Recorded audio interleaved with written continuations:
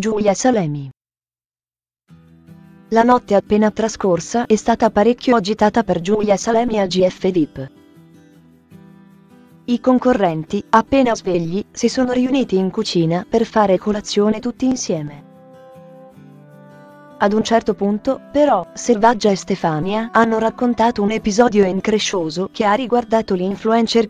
Nello specifico, la ragazza ha cominciato a gridare disperata nella notte. I compagni d'avventura si sono molto spaventati, pertanto, hanno chiesto alla coinquilina di spiegare cosa sia accaduto. La sua risposta, però, è stata inaspettata. Notte difficile per Giulia al GF VIP Giulia Salemi non ha dormito molto bene stanotte al GF VIP. Ad un certo punto, infatti, ha svegliato i compagni di stanza con delle grida. In particolare, la protagonista avrebbe chiesto aiuto disperatamente. Dopo poco, poi, pare si sia avvinghiata al suo compagno di letto. Selvaggia Roma ha raccontato la disavventura questa mattina a tutti gli altri membri del gruppo. Dopo poco, poi, è arrivata anche la Orlando, la quale ha chiesto a Giulia cosa le fosse successo. Punto dalla conversazione si è vinto che la protagonista stesse facendo un incubo.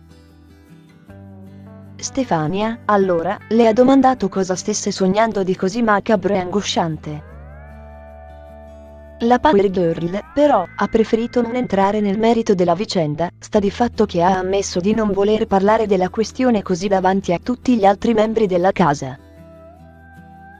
La sua interlocutrice ha rispettato la sua volontà ed ha cambiato discorso. La Salemi confessa il suo malessere ad ogni modo, Giulia Salemi è apparsa molto provata durante il dating del GF VIP di questa mattina. La ragazza, infatti, è rimasta stranamente silenziosa per quasi tutta la durata della colazione. In le ore successive, poi, la protagonista si è sfogata con Maria Teresa e Giacomo Urtis ed ha svelato il suo malessere. L'influencer ha detto di aver fatto sogni agitati e non capisce il motivo.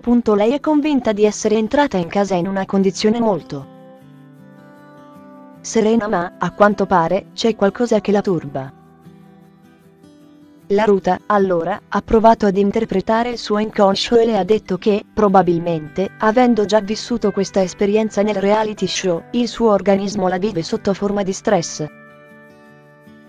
Il malessere, dunque, verrebbe a galla durante i sogni. Urtis, invece, le ha detto che, forse, è in contraddizione con il suo io, pertanto, necessiterebbe di andare da uno psicologo. Segui Controcultura su Instagram, clicca qui.